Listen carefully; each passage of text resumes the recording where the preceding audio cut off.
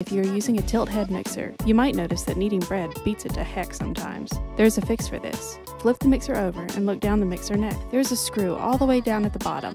Grab a flathead screwdriver and crank down on it. Easy, no more wobble. That's all there is to it. A few simple steps can make a world of difference in how well your mixer performs.